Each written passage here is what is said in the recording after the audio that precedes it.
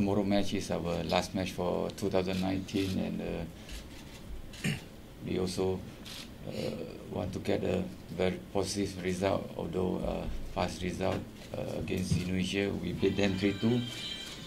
But uh, tomorrow game uh, another different ball game because Indonesia also have a, a set of, a new set of players. Looks like half of the team and a new coach coming in. Then definitely they also been very serious of the preparation. Uh, I think they have already one week here. That's, that means that shows that uh, they are very serious for this match. Uh, of course, as a coach, I always advise my player we have to focus uh, for this uh, very important match against Indonesia.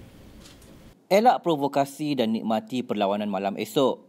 Itu peringatan pengendali skuad Harimau Melaya Tan Cheng Ho kepada penyokong yang datang ke Stadium Nasional Bukit Jalil supaya tidak menimbulkan masalah hingga menyejaskan rentak kedua-dua pasukan. Cheng Ho berkata, perlawanan malam esok bukanlah mudah kepada skuad negara walaupun menang 3-2 di Stadium Bung Karno pada perlawanan pertama kumpulan G pusingan kedua kelayakan Piala Dunia 2022 Piala Asia 2023. Ya, uh, saya rasa uh, uh, tekanan expectation tiap-tiap kali even ada apa jual perlawanan juga uh, tetapi uh, saya uh, sentiasa memberi uh, encouragement uh, supaya uh, setiap pemain memberi tumpuan 100% dalam latihan dan of course uh, the teamwork team spirit very important lah untuk uh, kita dapat kejayaan. Uh, tiap-tiap kali kita tidak boleh anggap uh, setiap perlawanan tu uh, tidak ada tiada ada tekanan kerana uh, pihak uh, lawan juga uh, datang dengan persediaan yang terbaik dan saya rasa semua jurulatih juga ingin dapat uh, kemenangan dan uh, setiap pemain juga ingin dapatkan kemenangan. Tetapi uh, saya harap uh, pemain-pemain dah uh, faham situasi tersebut dan uh, tahu uh, macam mana nak handle keadaan sedemikian kerana uh, sedikit uh, gangguan uh, uh, daripada luaran boleh menyebabkan kita uh, diboleh gol atau kita hilang fokus untuk jaringan gol. Itu yang selalu saya uh, pesan kepada pemain-pemain semua. Beberapa perlawanan ni walaupun uh, kita ada mendapatkan dua kemenangan cuma apa yang saya uh, ingin uh, petang-petang yang lain adalah untuk tidak membolosi lah kerana setiap perlawanan kita ada bolos uh, uh, gol so saya harap pada esok.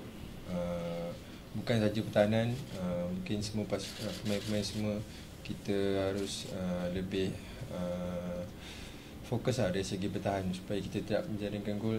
So mungkin kita ada lebih chance untuk uh, scoring gol lah. Uh, uh, sebab tu di Indonesia tu memang um, perlawanan sana macam-macam perkara yang berlaku lah So kadang untuk pemain sendiri itu kadang menjadi satu pengalaman lah untuk pemain. So beraksi di Bukit Ali ni saya mengharapkan uh, tiada, harap tiada lagi lah provokasi yang berlaku sebelum ni kan. So saya harapkan uh, semua penyokong datang untuk menyaksikan perlawanan dan uh, menyokong untuk pasukan masing-masing Sementara itu, pengendali skuad Sang Garuda, Yayan Tumena berkata, kekalahan sebelum ini menyebabkannya mengambil sikap lebih berhati-hati dalam mempersiapkan barisan pemain.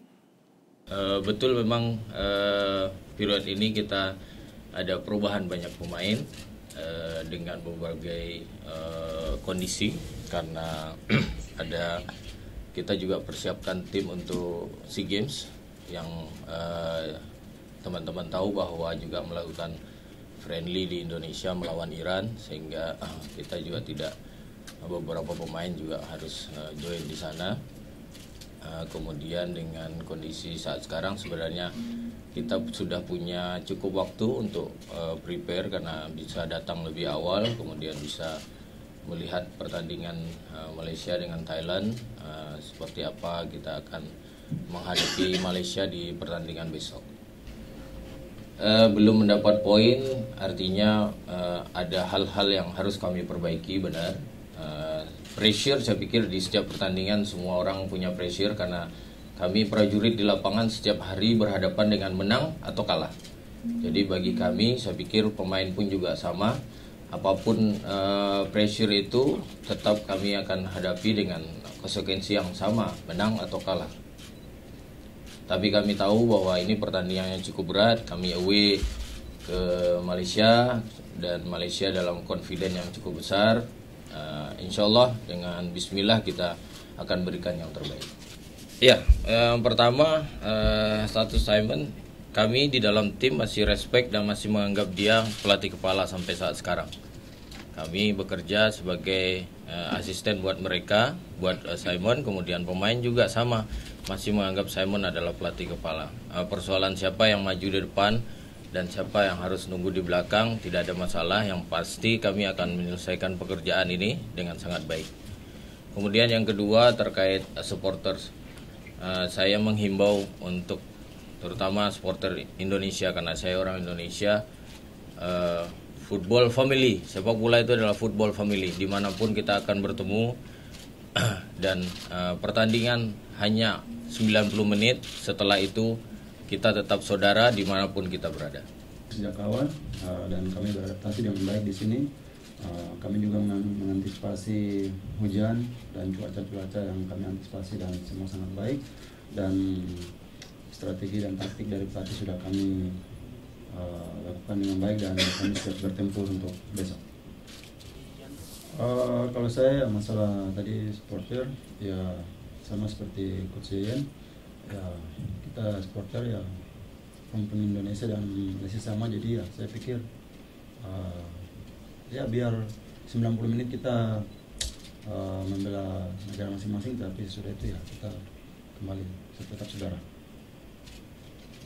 Kalau saya ya uh, memang pertama ketemu Malaysia uh, tidak bermain uh, dan pertandingan kedua ketiga tapi ya untuk sampai sekarang ini ya kami tetap satu tekad datang untuk mendapatkan hasil yang baik dan besok kami akan berjuang bersama-sama dan performa tim kami uh, kami sudah siap untuk pertandingan besok.